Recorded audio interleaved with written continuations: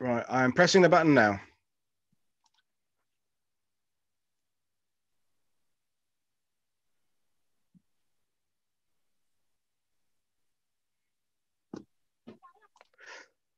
Good day, everybody. I hope you had a good Christmas. It is me, Paul Woodadge, again for World War II TV. A very exciting show today because we're Southern Hemisphere. We're in Hong Kong. Three different time zones of presenters today, which made for some coordination. So joining me at 2 a.m. in Canada is Brad St. Croix. Good morning, after, morning, afternoon, afternoon, Brad.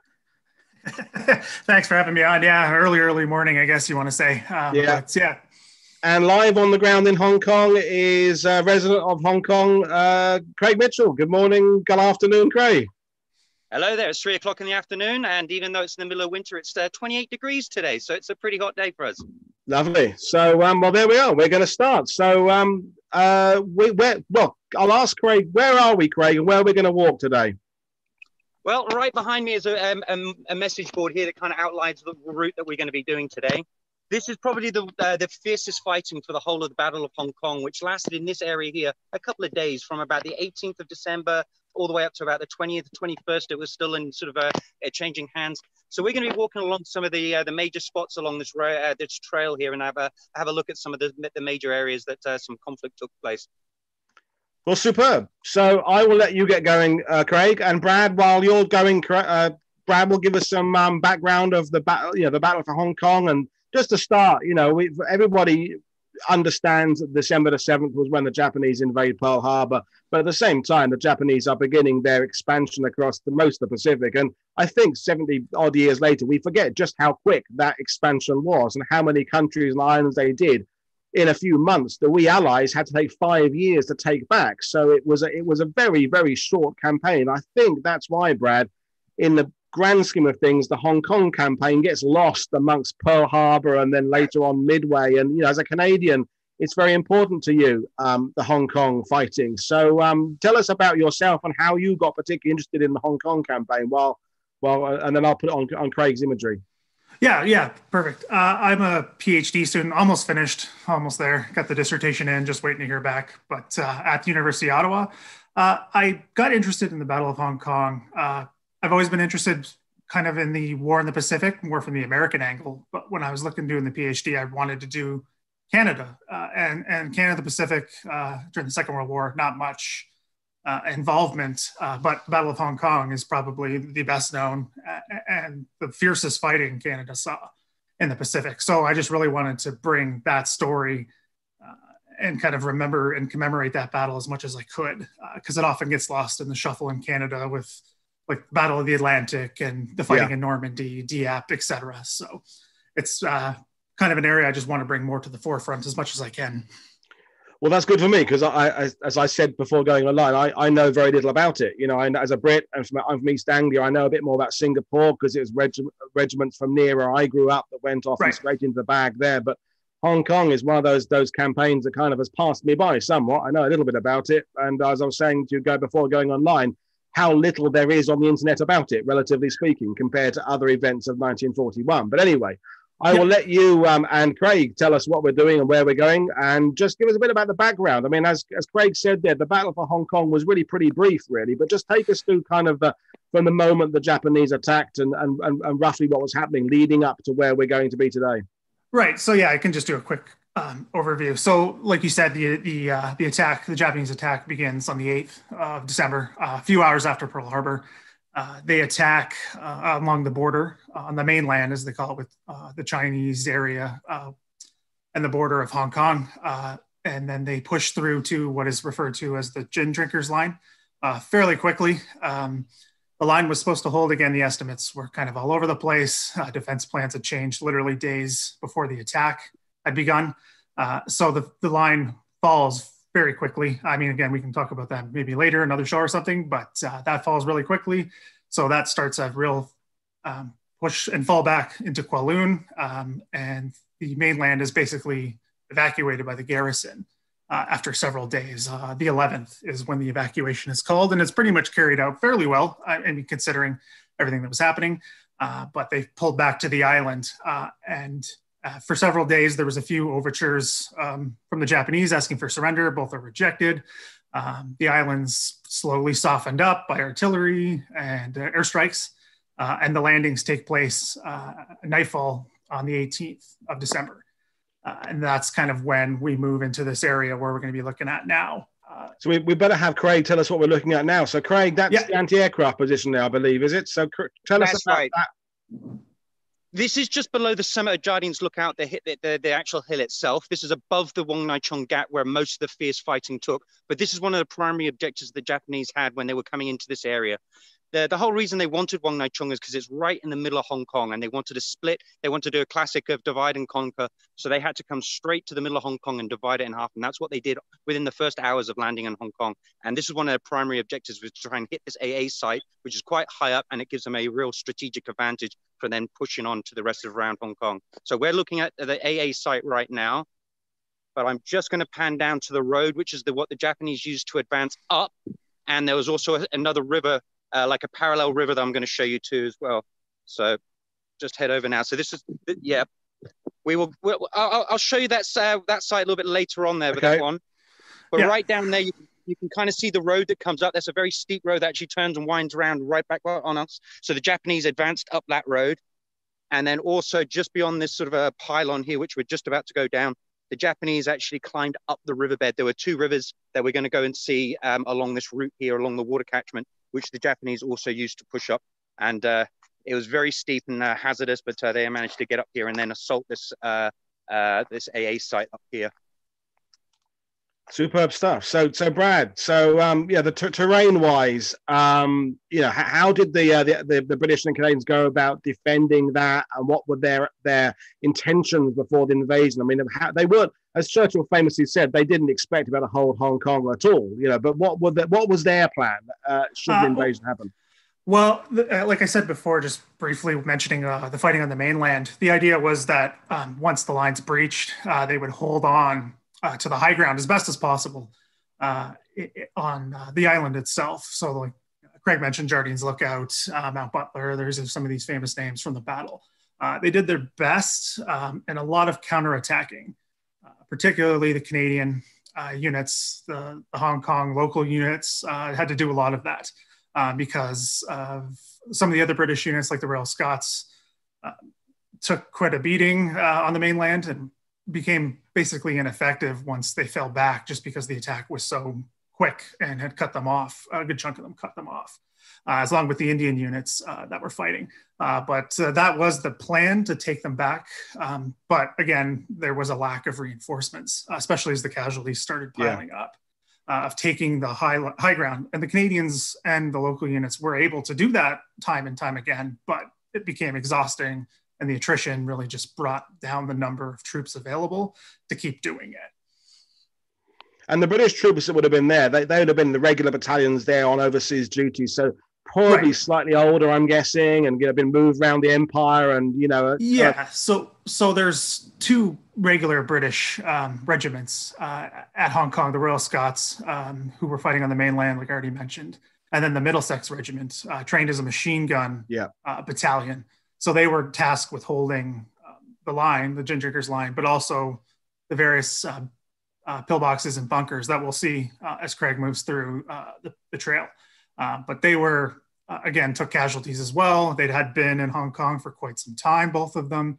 So there was issues with training, um, malaria had affected the Royal Scots quite, quite, effect, quite severely, but also rates of venereal disease were quite high, um, yeah. which had taken a toll and I guess lack lack of up to date training, lack of up to date weapons. They're they're still short magazine Enfield's number four, not number fours. It's they're they're going to be kind of early 1930s technology rather than kind of brand new 1940s stuff. Bit of kind of lackadaisical over the other side of the empire, and yeah, it's um yeah, and then yes. a lost cause battle essentially as well when you when you get committed in a sense. So yeah, when you get into uh, yeah, as uh, again I as the historian, you know, the academic historian, I like to say, you know, we know that with hindsight, obviously. Yeah, of course. But, but just an interesting kind of thing I stumbled upon once was uh, in the war diary of the Rajputs, one of the Indian units, I believe it was the Rajputs, uh, had mentioned actually that the Canadian weapons were new and up to date. Whereas one of the big controversies in Canada surrounding Hong Kong is that they were under equipped with old weapons. So it's just quite interesting to kind of see the you know the contrast between Yeah. these new Canadian untrained, supposedly untrained, under-equipped units, and then what's available on you know in the colony itself. Yeah. I So- do think one point that's often overlooked with the Canadians uh, with their equipment was um, the most of their heavy equipment, their jeeps, their mortars and stuff, that was stuck in the Philippines. Uh, they Yeah. didn't manage to get all of their equipment up from the Philippines. So when they came here, they just had to use a lot of the the British uh, uh, equipment that we had. So unfortunately, they didn't. All the stuff that they brought with them from Canada, all the heavy stuff, was caught down in Manila and never actually got up here. Yeah, exactly. It was yeah, it got it was rerouted when the attack began, and uh, the Americans took it, but it fell uh, when, when Yeah. the Philippines fell. But uh, yeah, like you mentioned earlier, with what the strategy was and kind of the tactics, it was the lack of transport really did hurt them. The Canadians, the Brits, because they were under equipped uh, even before the Canadians arrived. So it really caused an issue with moving reinforcements again that were lacking to begin with, but dwindled as the fighting went on. yeah. And this is the river that the Japanese, well, one of the two rivers the Japanese would have took uh, to from the lower area down on Cecil's Ride up to then attack the AA site um, to the west. And we're now uh, heading to the east towards pillbox one and two. But the Japanese were actually inside this pill, uh, sorry, inside this catchwater, just uh, you know, sort of uh, crawling along. And at one point, when they just turned around the corner, they, in fact, one of the occupants from the PB1, um, they were down there with a Tommy gun. And uh, as the Japanese turned around the corner, they came face to face and uh, had a bit of an exchange. And uh, they managed to uh, capture the Japanese machine gun and then take it back. But uh, yeah, the, the Japanese soldier in here didn't fare too well with a couple of rounds to the face. Mm. I mean, it's and now as we can see it. I mean, it's a it's a hiking trail now, isn't it? And fair, quite quite a you know, it's a it- quite an exertion doing it. It's not an easy stroll, is it? Lots of lots of up and down, and it's you know, it's for the, the experienced hiker rather than the kind of the newbie. I'm looking at it from my Oh, absolutely. I mean, the, the rivers that they took now, I mean, we've been up and down it a couple of times a few years ago, but no, not even uh, hikers these days don't go up and down there. You, you've got to be like a, a historian to really want to go down there for any reason. And, then the reason you're with us is you, you know you live there and you have done all this stuff. You've been going there looking for bunkers, and looking for spent cases. You've done some work for TV and That's right. archaeological digs, things like that. So you know you you you know these sites better than just the casual, um, you know, walker and looking at the views person. So um, yeah, it's uh, it's And great if you can stuff. throw up that first photo you put on earlier on there, Paul. I think this is the perfect location for this. yeah. Right. Yep.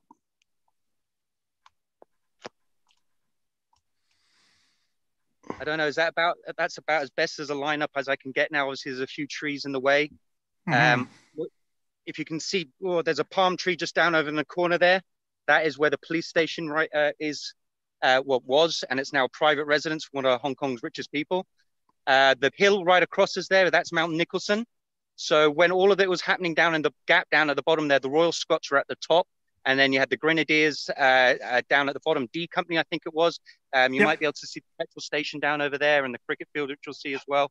But this whole gap area here was where it was all kicking off. It's uh, it looks nice and peaceful today, but you certainly wouldn't want to be here in uh, 1941.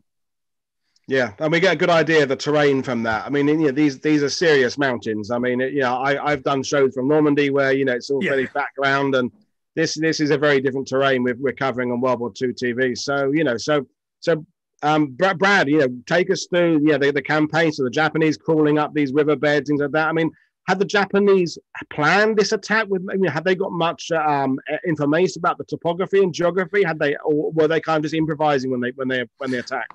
Yeah, the, the, the attack was very well planned. Uh, they were very well um, uh, supplied with intelligence. Uh, again, it's a bit, again, with, sorry, just a bit of disclaimer with Battle Hong Kong, a lot of the details are still debated um, Yeah. based on, because of the nature of the battle and what happened, basically everyone's a POW or killed. So again, all the details are very much uh, debated. But uh, with that being said, the intelligence that they had gathered um, through all sorts of service, like all through um, many sources, uh, Japanese army officers integrated on the ground, um, just being able to walk around and take photos. Uh, numerous accounts of that happening. Uh, so they kind of they knew exactly what they were doing and where they wanted to go.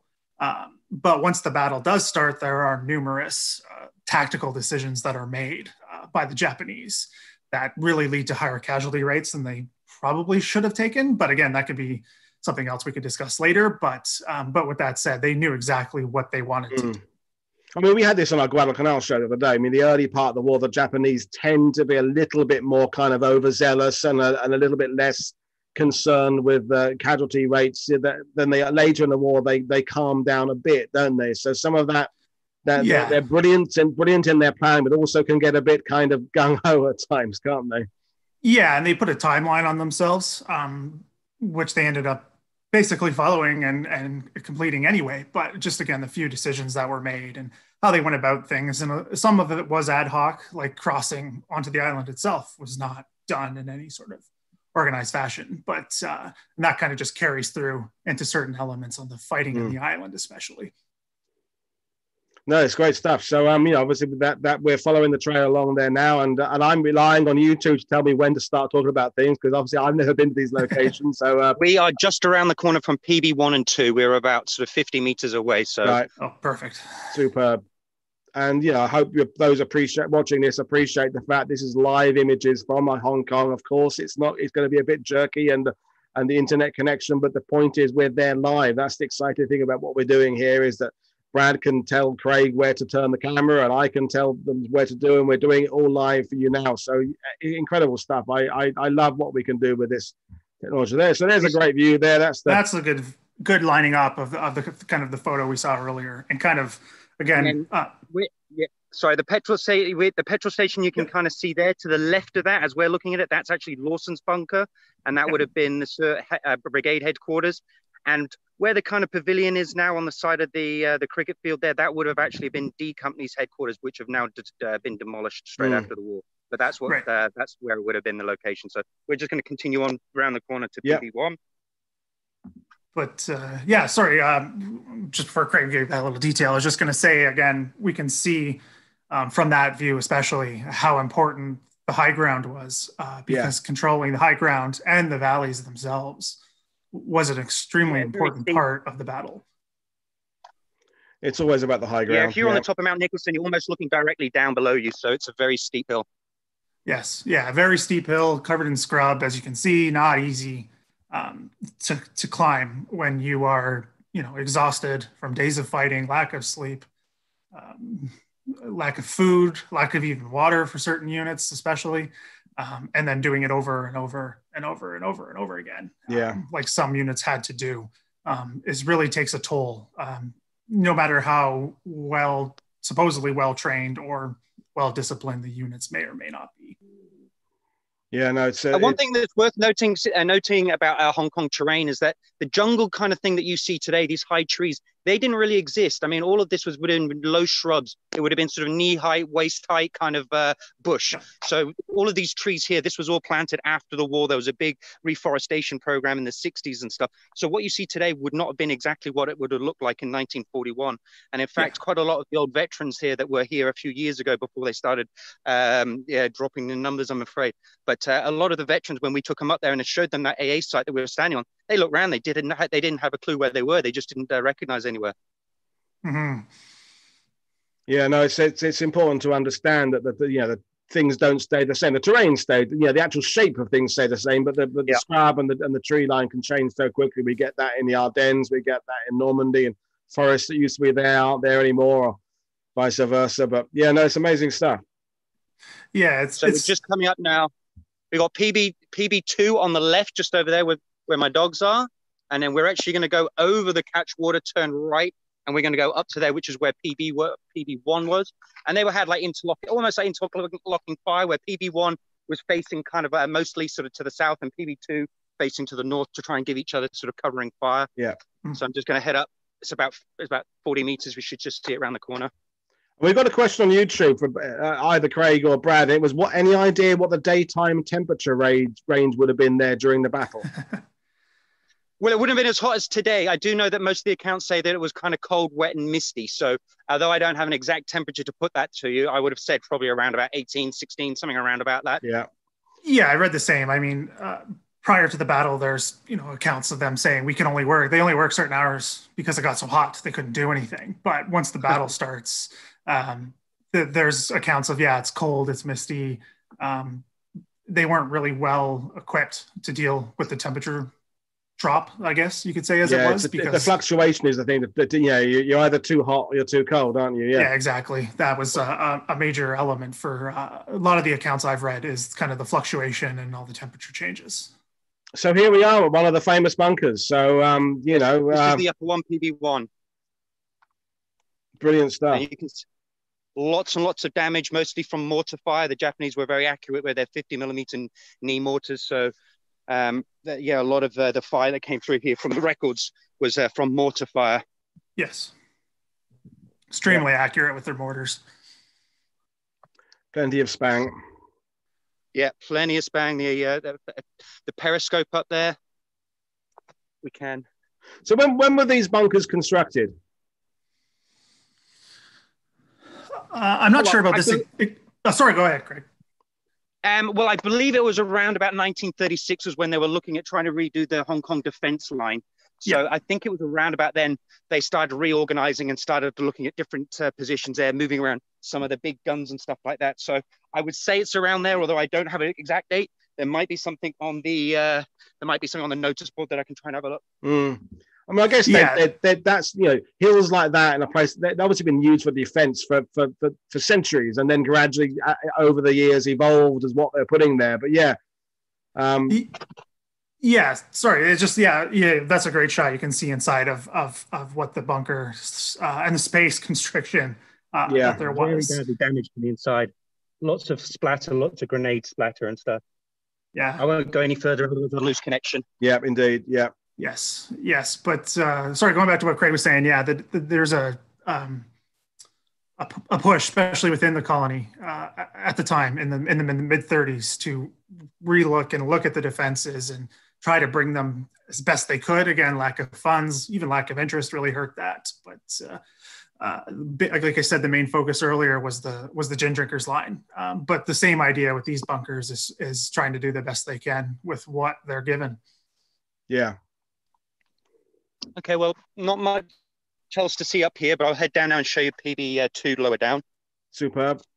There is a there is a communications trench on your right, but it's just so overly grown there that you're really not going to see anything, especially in this kind of green and Yeah. uh, the light that we have today. But yeah, there is a communications trench just running a meter off off the trail, just in there. Yeah, superb.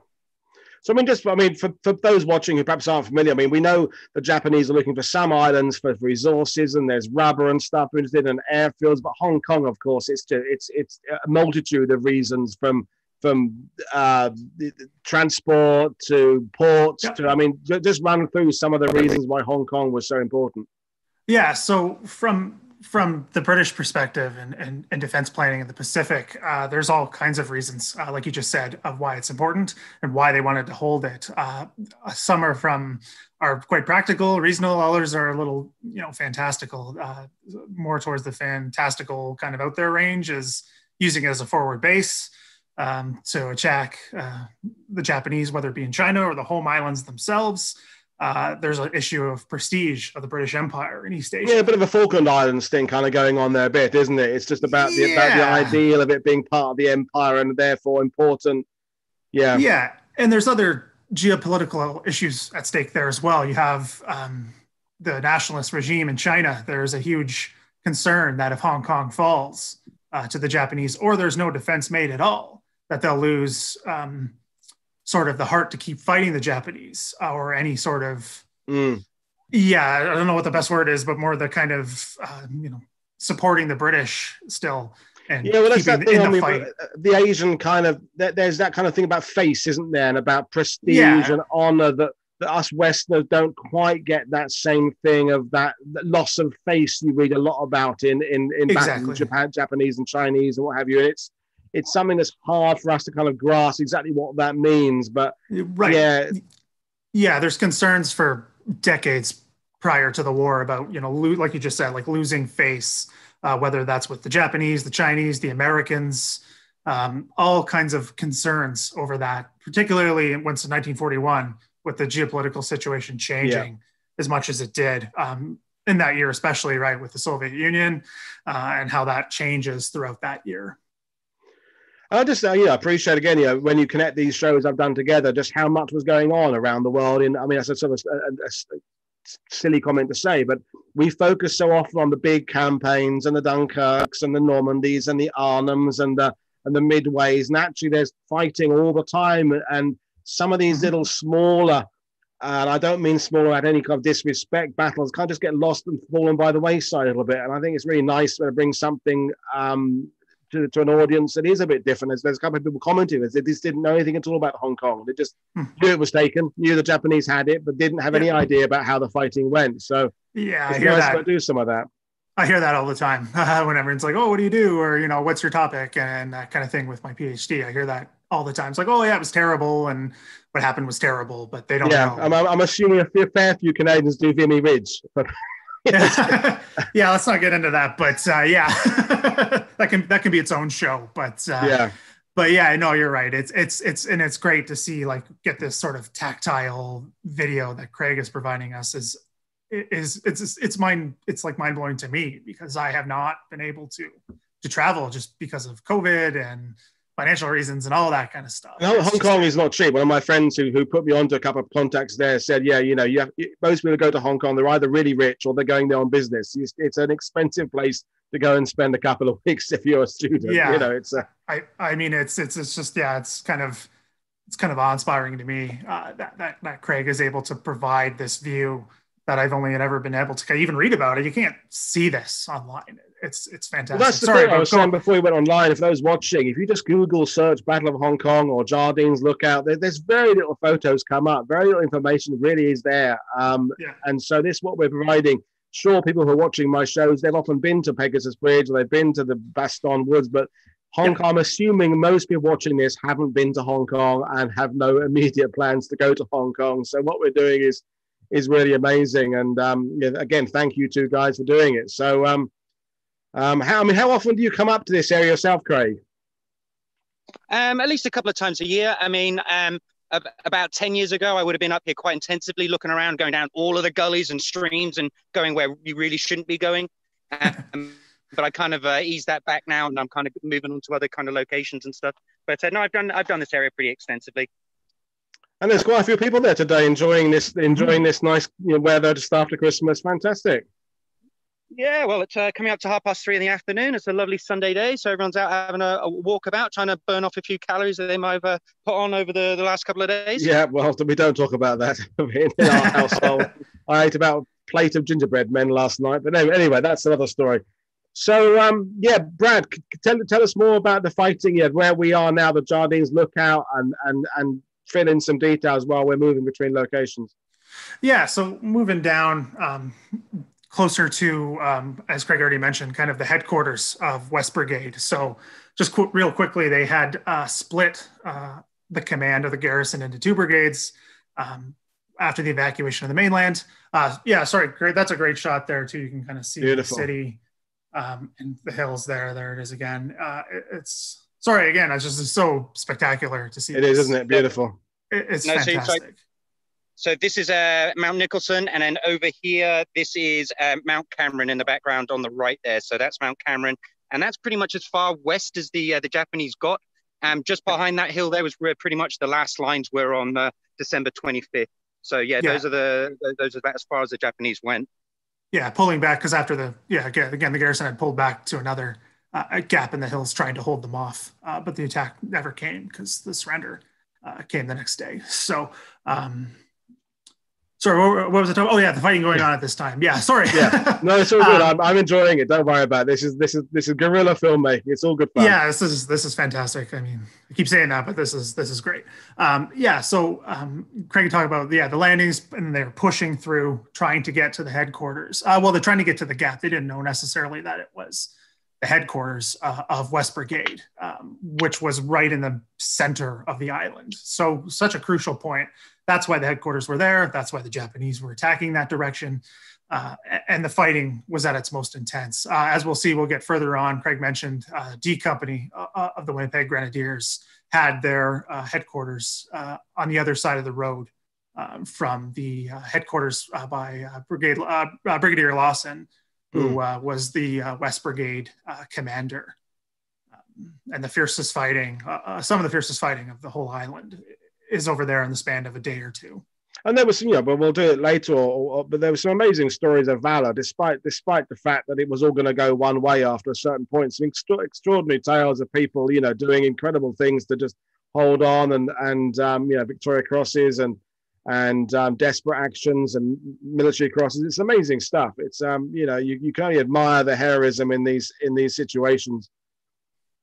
Yeah, yeah. yeah unfortunately, like, we were just near. We were where I first started, and where we uh, where we got to greeting to each other. Um, the the the VC was actually one about two three hundred meters away from that kind of location, but totally in the wrong direction. So we would not have managed to get that no, today. No, no. Right.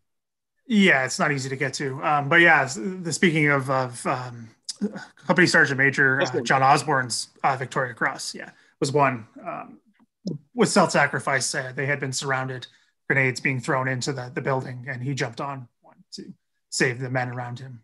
Yeah, it's, it's, a, it's a classic kind of comic book. I don't mean that any kind of disrespect. It's a classic, you know, standalone action that the Victoria Cross is absolutely for, for in my opinion. Yeah, that kind yeah, of yeah, nailed on. That's a Victoria Cross, bang on. Yeah. Exactly. And I mean, to the Canadian viewers, and if anybody else knows that we have quite famous heritage moments that run on TV uh, or online now um, that cover cover things in Canadian history, but that is one of them, uh, uh, uh kind of recreating what Osborne did uh, at that exact moment. Another incredible view there. We are heading down to Cecil's Ride, which is what the Japanese actually took um, as soon as they landed in North Point and on the Hong Kong East Island area, then they, they went halfway up the hills and then Cecil's Ride actually kind of joins Hong Kong from the east to the center here. So we're just about 100 meters away from the actual path that they took. Brilliant yeah, so that's kind of where uh, D Company uh, uh, of the Grenadiers is trying to stop the advance, uh, undermanned again, like I said, uh, and obviously not successful. I mean, they did their best. Uh, but again, it was it was very difficult, uh, just again for numerous reasons. I mean, and, and, defending a hill like that, there's a, there's a kind of a point in the early. I'm talking in general terms at the early point where the guys on the high ground have the advantage. But as things change, you of course can't get resupplied. There's no ammunition coming, and then the people attacking going up start to have advantage because they can at least bring supplies up. So you kind of get that classic bit where it kind of swings from being the defenders advantage to the attackers. And I'm guessing these battles here had that kind of similar moment where, yeah, when you're standing there on high ground looking down, you think, hey, we, we can defend this. We've got, well, look at that view. And then, and then it sort of changes when the, the pressure just keeps on unrelenting towards you. I mean, exactly. Yeah. It's it's uh, it, it's no no guarantee either, right? You have issues of of morale, um, or if the wounded, right? Uh, just yeah. again, account counts. Uh, all it takes one well placed mortar round, right, and you can take out a good number of soldiers, and that's what happened a lot to to the D Company soldiers uh, trying to defend that area. Just th- they were so wounded sometimes so quickly uh, that they would just melt back because they basically had no choice. Yeah, mortars we we, you know, we talk about a lot on these shows, and I think they're often forgotten by people watching war films and things because they don't really show mortar very often. Mortars kill you know three quarters of most men in combat in most campaigns in World War II, don't they? Really, generally and you know, and it's and the Japanese with the 50 millimeter, very light weapon, very very portable, very accurate, and in this kind of close close quarters, not close, but you know, they're not there. It's it's a short range mortar, not a long range, just devastating. Yeah, exactly. Yeah. So we are now walking along Cecil's Ride. So this is the, the, the very path. I think the, the Japanese were walking four abreast along here. I think at one point there's some uh, a few photos taken a little bit further behind me but uh, no, marching in good order. Yeah. Yeah. Fantastic stuff. So, I mean, Brad, when you're doing your research, well, how much is there to find? Because you said yourself, you know, most of these guys are POWs or they were killed. So, so, so, what is there when you're trying to under, uh, uh, you know, understand what was ha- happening in these last ditch moments? Uh, do you have to fit in a lot from your own kind of logic, or is there enough to work uh, on? There's quite a bit actually, uh, and again, like you, sorry, going back to what you said before, mentioning kind of the the individual uh, stories and heroism that, that took place. A lot of them kept diaries of everything that was happening, and had to keep it hidden from from the Japanese captors and the POW camps for years, uh, kind of keeping these their accounts of everything that happened hidden. Um, which I, was to me was an invaluable source. I found so many, and I was lucky enough to be able to travel to the UK twice uh, for research and found accounts I'd never seen mentioned. Uh, again, like I mentioned, quite a lot of controversy with this battle, but uh, yeah, one of the more iconic uh, paintings of the fighting there. Um, yeah. That one there, but, that one there, the the, uh, the Japanese are taking that's pillbox one, so that would have been the first one that we would have taken uh, uh just uh, ten minutes yeah. ago. Mm-hmm. But uh, yeah, sorry, going back to the uh, the research, yeah, there's accounts I'd never seen. Uh, again, some of them aren't used for reasons of trying to protect prestige, reputation. Mm-hmm. that's an important part of how the Hong Kong story is told. Uh, again, uh, it's way too much to get into right now, but uh, that is an element, Canada, Britain, and elsewhere, uh, of how the story is told and what is, you know, conveniently, you know, left out from accounts that probably should have been included.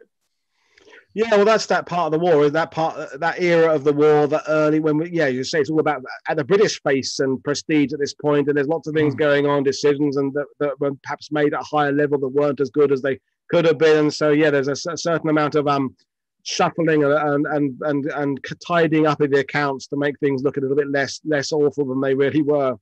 Right, and and as we're moving down, we'll we'll discuss it again. But Brigadier Lawson, the com- commander of I already said of the West Brigade, but also the ranking Canadian in Hong Kong, the the commander of C Force, is killed um, very early in the fighting on the 19th.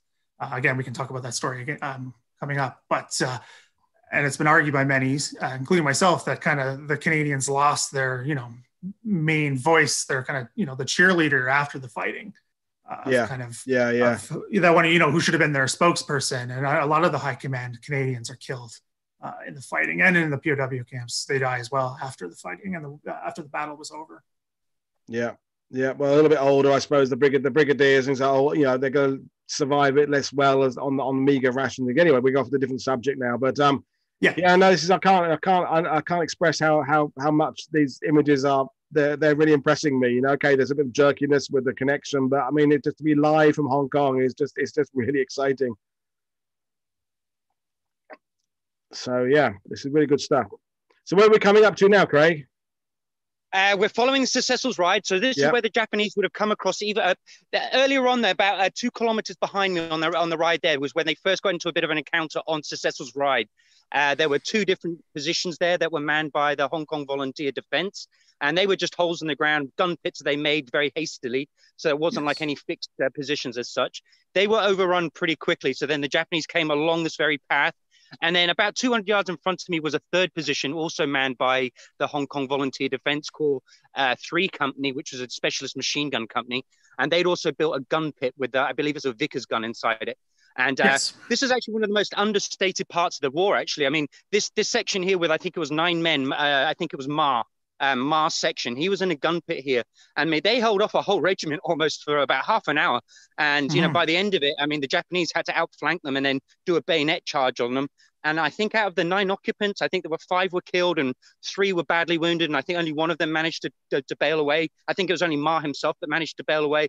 But just those that act alone for half an hour, holding off, you know, hundreds of Japanese soldiers along here. I mean, the Japanese accounts of what happened to them in this in this gully around the corner is pretty horrific.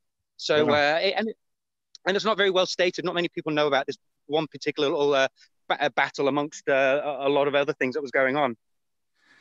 Yeah, it's about it, the Hong Kong volunteers, Brad. Who, who who would they have been?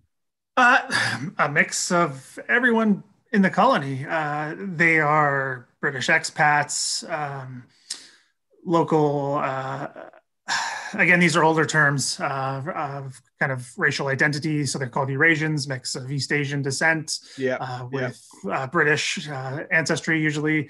Uh, a lot of Portuguese uh, immigrants in Hong Kong formed their own platoons, in the, in, I believe, in one of the companies. Um, and again, there, there, there are mixed units that are in charge of the artillery units that they have, machine gun. a company mentioned already uh, quite a few. There's a uh, another section that is older vets of the First World War uh, that managed to hold off the Japanese near where they're landing uh, for a very extended period of time. Uh, these older gentlemen that were able to really uh, be a thorn in the side of the Japanese attack. And the accounts of again getting a bit off topic, but again the accounts of that fighting are mm. are, are, are, just. Um, are just tremendous to read of what they yeah. were able to I don't do. think it is off topic at all. I mean, you know, they're defending their, their, their homes, they're defending their families. Exactly so it's there's a lot to fight for, isn't it? In that situation, it's it's so um yeah, no, I think it's important to cover. Yeah, a lot of them were fighting for yeah for their families for the for their homes, um, and again that was to their advantage in a lot of ways. Uh, they knew the island. Uh, yeah, uh, they knew what they were dealing with uh, and who the people were and everything. So that is used to their advantage later on. Um, a lot of them are able to escape and get out of the island uh, uh, prior to the surrender and even after.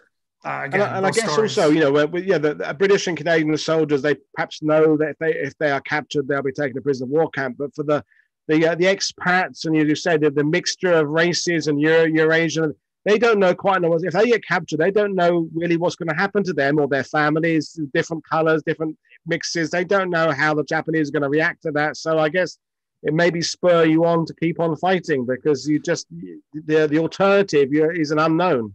Yeah, exactly. And I mean the and again the the atrocities uh, committed by the Japanese are, are well known now, but also during the fighting, the the, the story sped fairly quickly uh, of what the Japanese were doing uh, to civilian and, and, and military alike. It's uh, again those are are horrific to read, but um, those those stories kind of yeah spurred a lot of them on. Again, those accounts, those who were able to get out yeah. um, again kind of speak to that of kind of what's pushing them to keep fighting and to, to keep living um, especially after the battle has ended. Yeah no it, may, it makes sense to me. And and, and that's that i've never been to hong kong but that that that sense of being a multicultural society which it has been and still is and so many influences kind of like almost like Malta in that regard, isn't it? Or th- th- there's so many influences from so many different places there that all kind of live together. And uh, yeah, I mean, it's not a, it wasn't a, you know, a, a perfect picture of racial, no, you know, no, you no, know, harmony at the time. Uh, no, of course not. But uh, uh, the British Empire clearly um, had its racial hierarchy.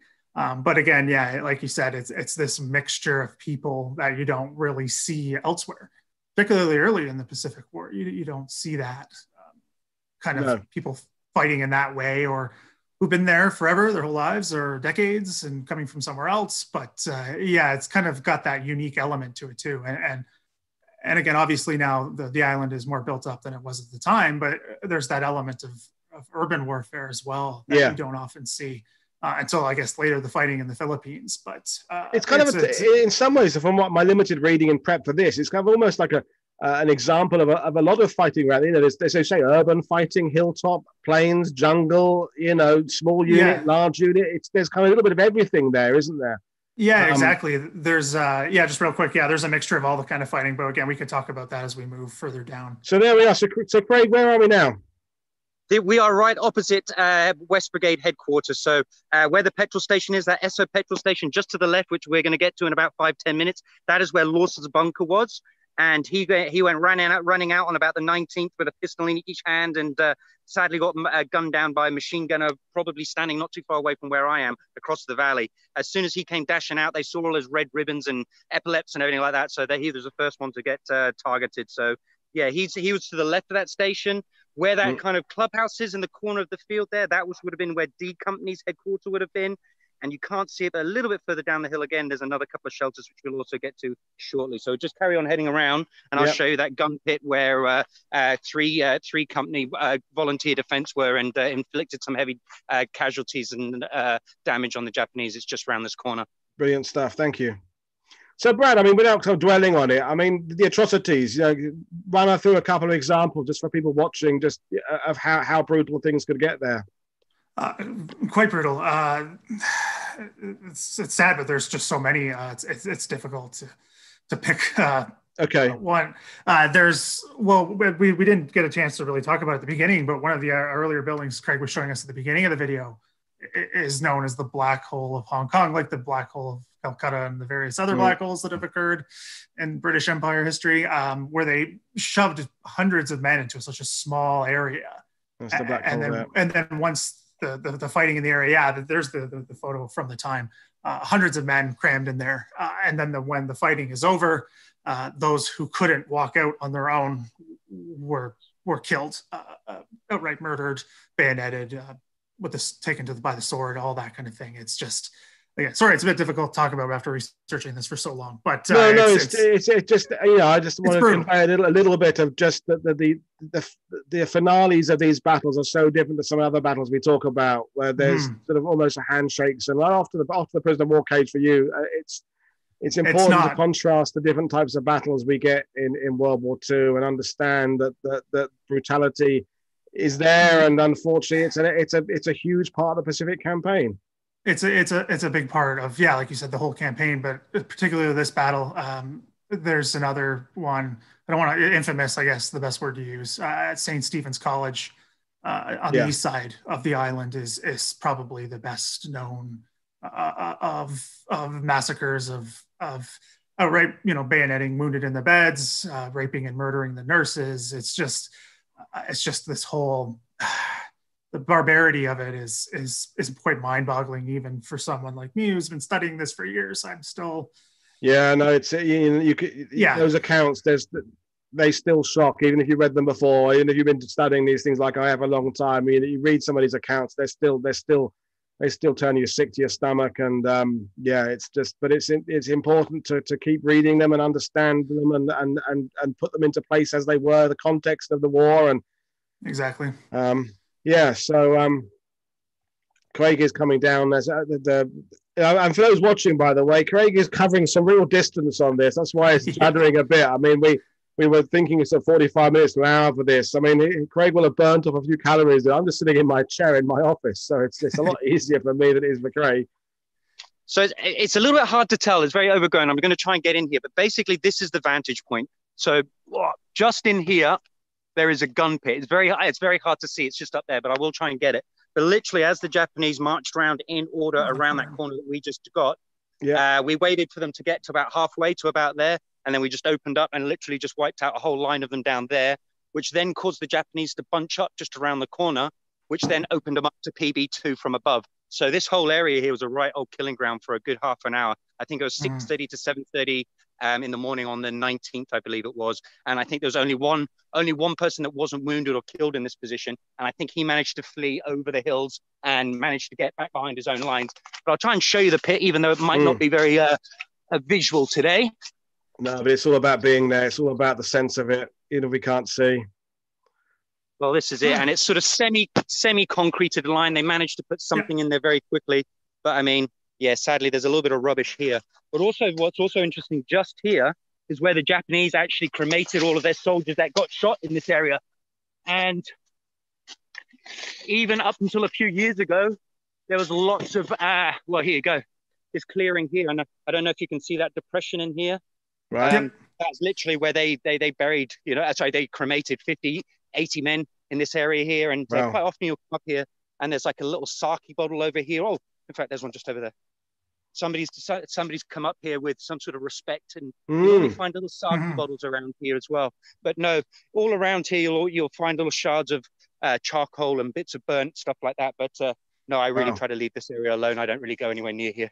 Yeah, no, fascinating and slightly macabre at the same time. It's um, I mean, Brad, my, my takeaway from this is is is that my initial reading of Hong Kong is kind of that every unit was overrun and very quickly. There, there was some they, they they were defending pretty well. I mean, they, they weren't going to come out of it victorious, but as as Craig right. said there, they they picked their locations. They they they they held up for considerable time. They took lots of Japanese out on their way up. They there were moments of, of, of really, really um, good tactical thinking.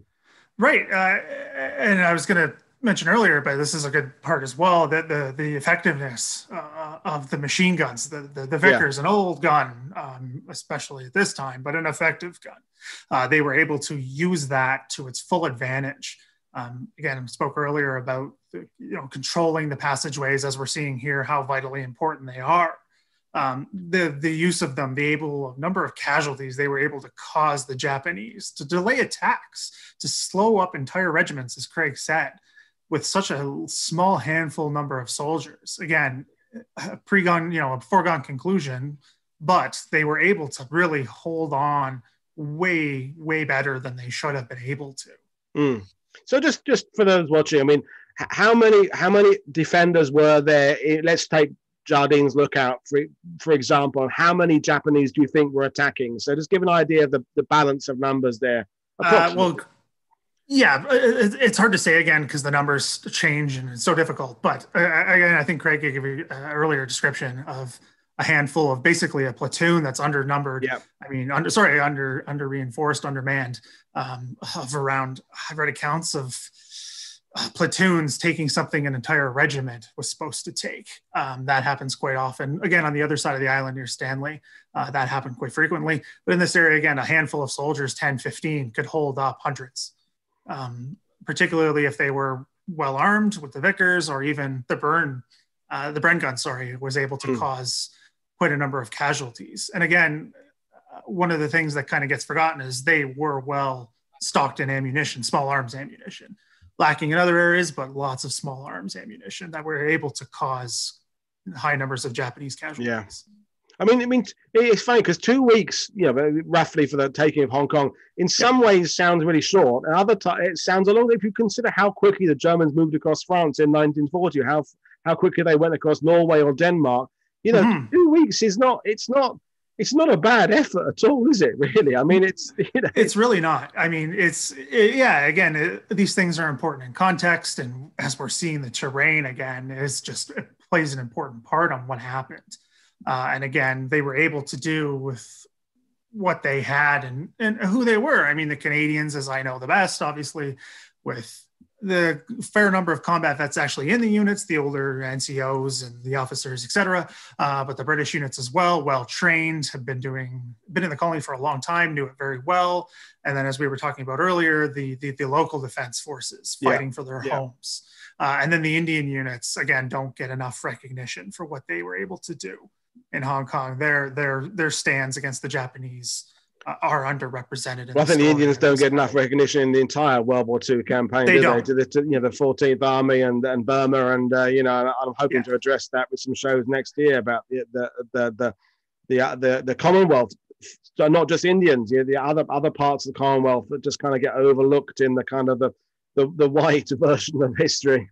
Yeah, I mean, and Hong Kong is a perfect, you know, kind of a microcosm of that, because um, the Indians units were able to, well, they were some of the best trained and best experienced. Um, yeah. What they were able to do. I mean, they had been kind of had lost a good chunk of their leadership because of the changes the Indian Army was undergoing. But uh, anyway, but uh, yeah, they were able to cause a lot of casualties to the Japanese, especially when they were given time, a short amount of time to even catch their breath in the slightest way. Yeah.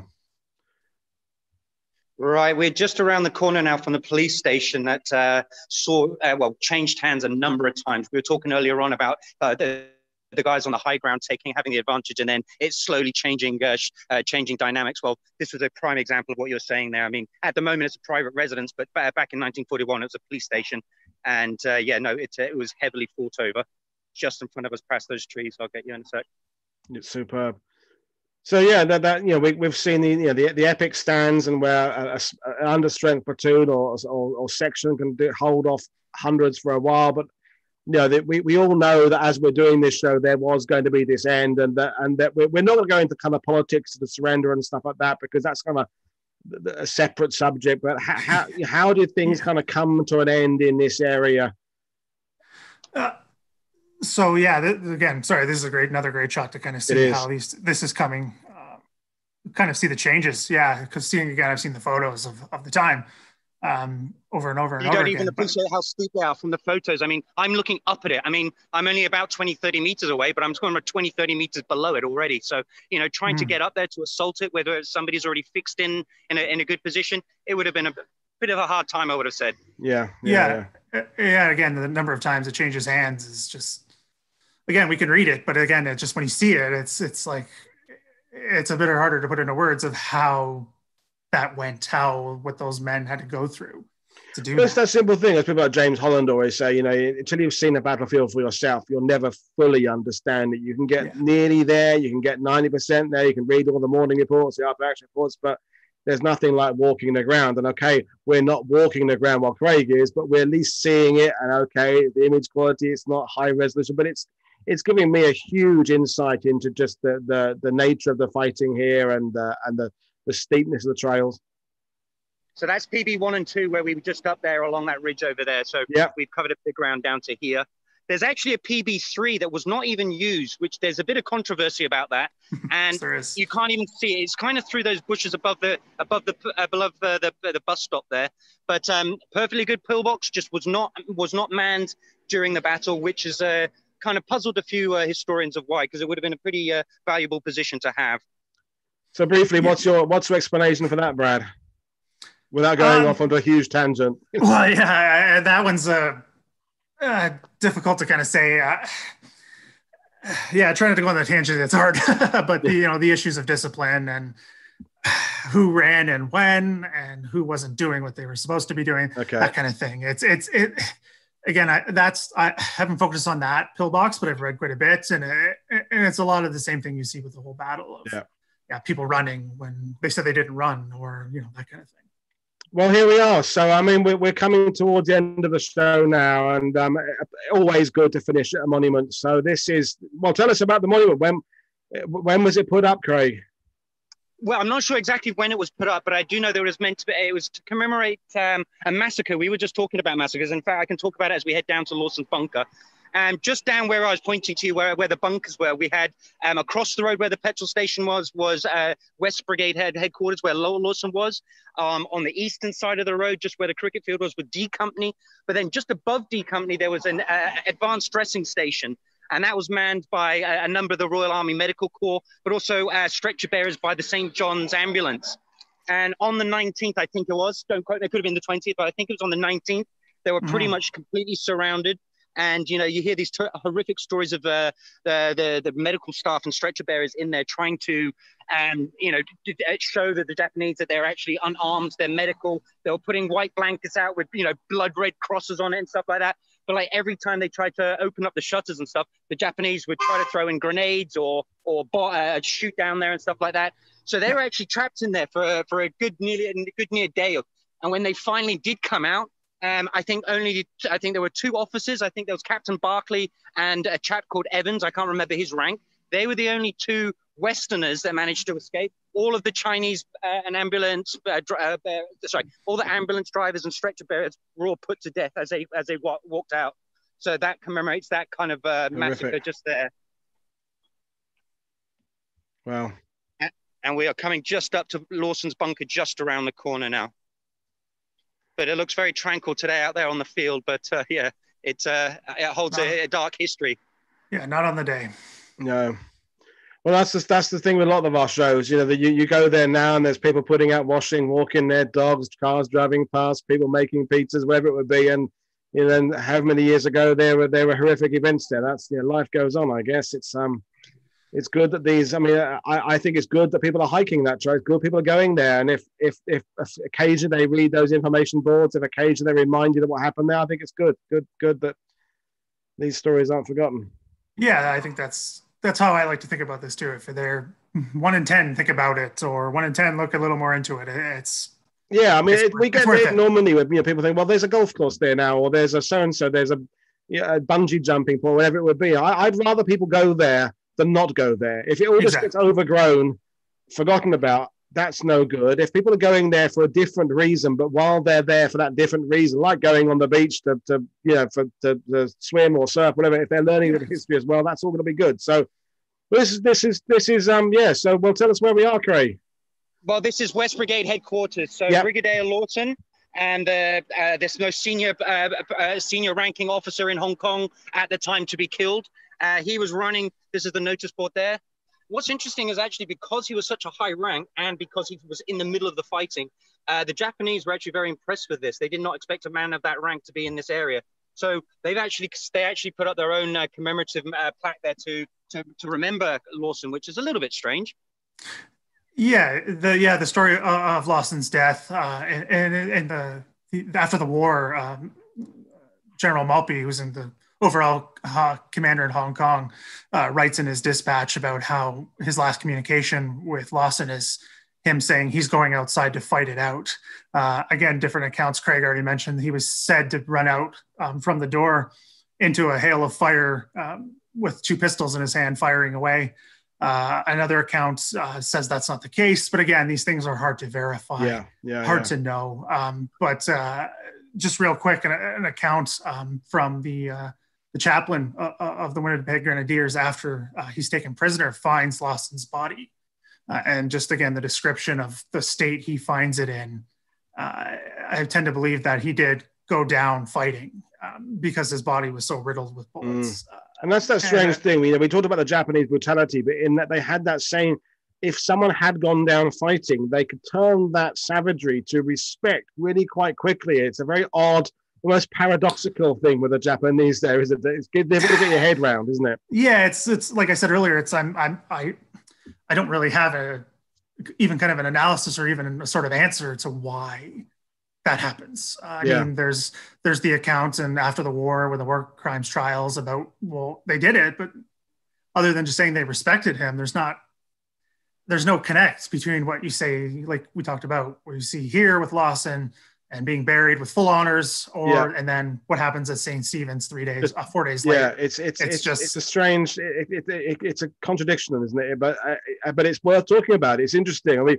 we don't have to understand these things. It's just inter- interesting to talk about them and understand that that that things work differently and it's that that western asian mentality back then that's very different yeah. for us to kind of get our head around and uh, which is a subject that's been discussed ever since and, yeah exactly uh, yeah yeah and it's it's just yeah sorry i just wanted to speak again about this kind of this location again lots of canadians have heard about it i mean hong kong's not that well known but known well enough and kind of how important this position is of where lawson is killed and, and kind of what that means for the Battle of Hong Kong during the fighting.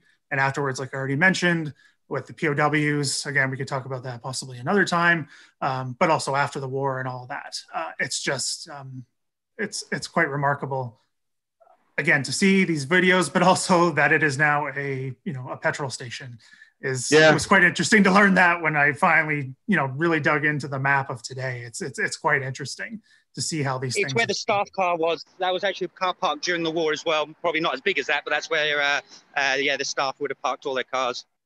Mm. Mm. Yeah, so, no, yeah, it's, D it's, company. D company would have been in about that location there with the ADS just above them, roughly where that uh, pavilion is now. But that's obviously all flattened now for a tennis center. Yeah. I'm, I'm amazed by how quickly it goes from kind of jungle trail to urban city in a matter of kind of a minute of walking. Uh, it's, it's, uh, I guess that's Hong Kong, isn't it? I suppose. And this is the last station on the on the route. Right. Nothing of a major importance here. Just another set of shelters that would have been in support of uh, the uh, brigade headquarters but good to see people reading the information panels. Good to see people out there looking at this stuff. It's it's it's good that this history is left here. I mean, Hong Kong has had many many changes in the seven decades since World War II, and and it's good, but good good to see this stuff hasn't been ripped out and torn out, and uh, you know it's good, always good. So um, yeah. So well, I guess we're coming towards the end of this now. So I mean, Craig, Brad, Brad, what are your kind of your your your closing thoughts? What we've done today, and um, anything we want to finish off about this action? Uh, you can go ahead, Craig, if you want to go first. Um, I think it's been a great, great experience just walking through it with you guys there and sort of uh, putting you guys' eyes on it and giving you a few little bits of pieces that uh, you might not have already known before. So, uh, no, I think it's been a good day. Um, I hope uh, this story gets out there, and uh, I think there is a growing amount of interest in these kind of stories there. You know, 10, 15 years ago, walking around Hong Kong and people like, oh, what are you doing? And we kind of tell them like, oh, what, there was a battle in Hong Kong. Whereas these mm-hmm. days now, as you can see, people have got a lot more interest. They're a lot more uh, aware of it. And, you know, they're a little bit more curious about what actually happened. So let's hope that that continues and more knowledge and uh, uh, uh, uh good stuff comes out of it. Yeah, well, I mean, that, this is why things like this, you know, as we said at the beginning of the show, you know, with three different time zones we're out. I'm a Brit, you're a Brit there, uh, Brad's in Canada. It's good that we're able to do this and bring in people watching this in Sweden right now. So we're, we're, we're, we're bringing this history to theoretically every corner of the globe. And that, that, that's, that's, that's fantastic. And I, I'm so excited to do this. So, so Brad, you know, where, where sum up um, this, the, the, the battle for Jardine's Lookout. Uh, again, speaking earlier, this is the this is the possibly the toughest fighting uh, that the the garrison sees. Um, what they're able to do, and again, as we mentioned, stalling the advance, not changing the outcome as we know it, but able to stall it again, knowing what they were able to do is not known enough. I mean, hmm. again, mm. right here it mentions the surrender uh, in the area, but also the surrender on, on Christmas Day is what takes up most of what the story of Hong Kong is. Yeah. And again, this and I, and I've explored this in my own work is the suffering, uh, and rightfully so, that should be focused on, but the suffering of the men uh, as prisoners of war um, kind of gives this. I like to say like the best way again describing it in English is this sort of negative, you know, view of this that it's all horrible, it all went wrong. But there are stories, like we mentioned with with Osborn and all these, and with the uh, third company of uh, of the local volunteers is is things that get lost in the shuffle. I would say so. Mm. Being able to have someone like Craig on the ground bringing us these images um, and then we can talk about it. Uh, is is amazing that we can able yeah. to do this and when we couldn't have done. I mean, yeah, I mean, as I say in my, my little summary books I was reading, it just said Hong Kong invaded December the eighth. Hong Kong yeah. surrendered December, and that was like that was it. So what about the middle bit? And the middle bit wasn't talked about because this is a, a, a, a summary of the whole Pacific campaign. It's like okay, yeah. but there's you can keep expanding and, and widening and going to more and more stories. And if you two guys exactly. are winning, we can do more stuff in Hong Kong. It's been good. So if you want to spin the camera around onto yourself to say goodbye, Craig, and then we'll we'll we'll we'll kind of round things to an end. So um, but it's been absolutely good, extraordinary stuff. So um, well, um, I've I've enjoyed it.